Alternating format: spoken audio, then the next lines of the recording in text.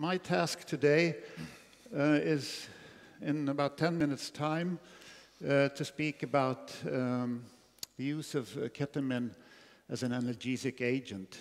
And that is a challenging task. Uh, but I'll try to give you some flavor of, um, oops, flavor of um, the there we go. The current practice, which is uh, quite rampant about the scientific base and uh, what I see as uh, outstanding issues for the future.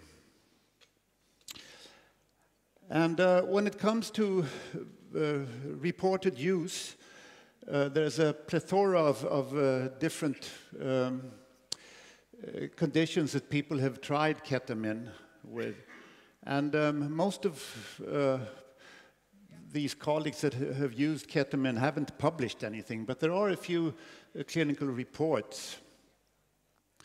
Uh, one such is uh, neuropathic pain after spinal cord injury, where uh, there were reported beneficial effects.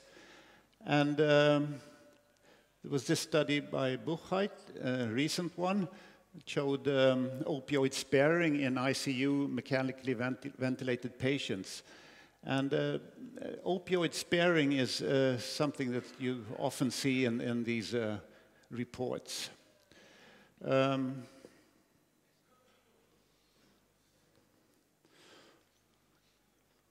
my dot disappeared. Uh, har du? Där är den.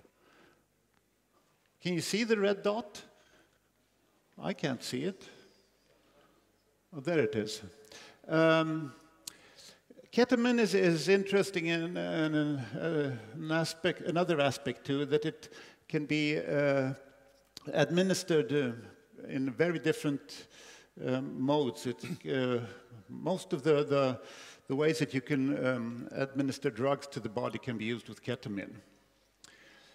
And um, um, people have tried, Mercadante is a, uh, an oncologist working in palliative medicine.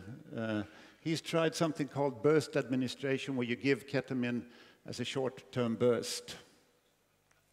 Uh, intermittent infusions of different kinds have been used for diverse indications, and often uh, these reports are favorable.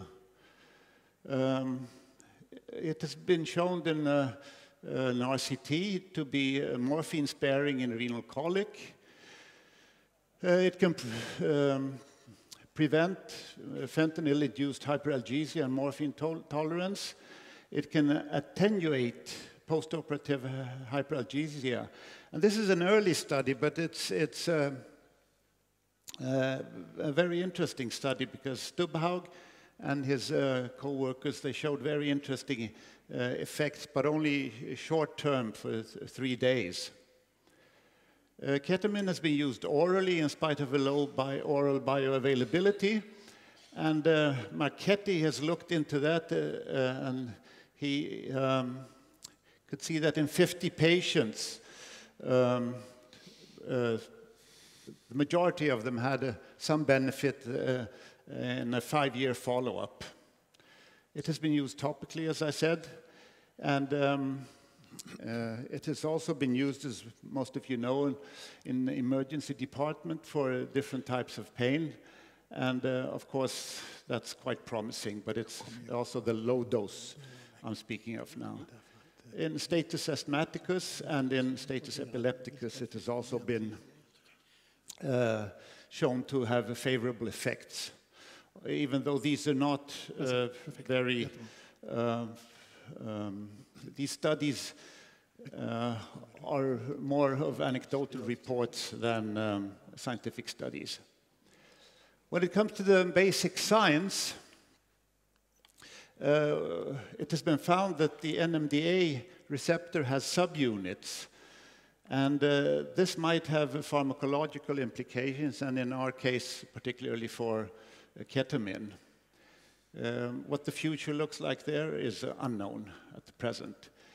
As you probably know, ketamine also has uh, two enantiomers, uh, and um, they differ in their They differ in their um, uh, pharmacology, uh, pharmacokinetic and pharmacodynamic properties, but the clinical significance uh, of that, I would say, is quite unclear.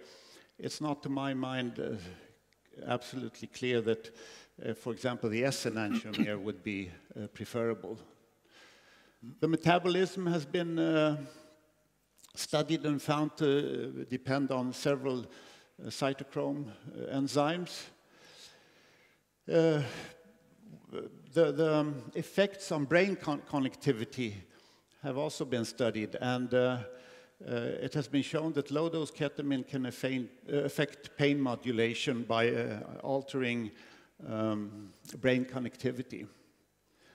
And then there are the anti-inflammatory effects, and it has, people have also produced um, esters, varieties of the ketamine molecules, in order to perhaps get a better side effect to side effect ratio, but that is also at present unclear. When it comes to clinical science, uh, it's uh, ketamine's effect uh, for in the short term, in short term treatment, treatment on uh, uh, non-cancer pain, both chronic and acute, is uh, quite well established. there is a problem um, of toxicity, which has um, come to the fore in later years. And um, one of the toxicity on the, on the urinary system is uh, quite troublesome, I would say. But there's also liver toxicity and uh, cognitive effects. Um,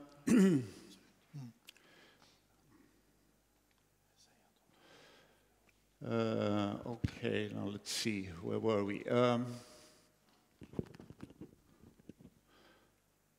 um, it has been shown to uh, prevent um, uh, persistent post-surgical pain, but only in the very short term.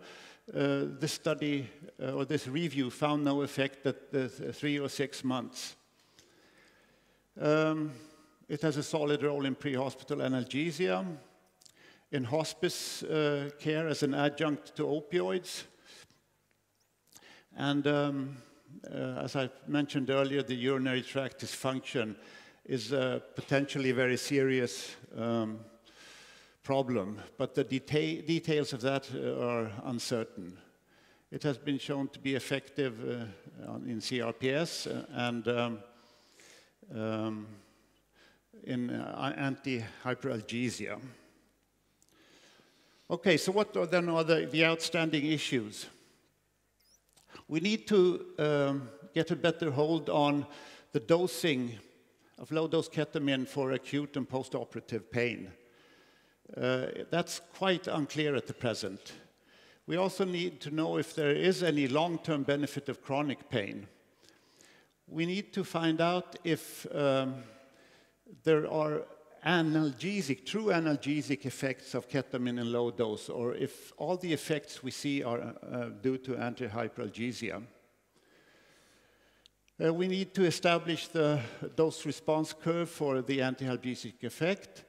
Uh, we need to, to, find out more about the urinary tract uh, uh, dysfunction and um, more about the neuroapoptosis, uh, which is um, troublesome.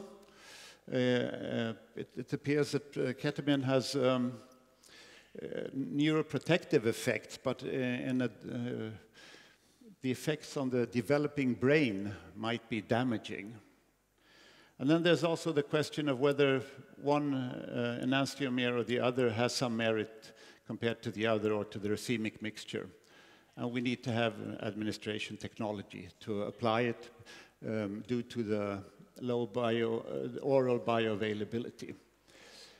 Now, uh, ketamine uh, uh, celebrated its 50th anniversary a few years ago, and uh, we've had it for more than 50 years, and uh, I'd like to say it's still a promising drug, but we still have more questions than answers, unfortunately. Thank you.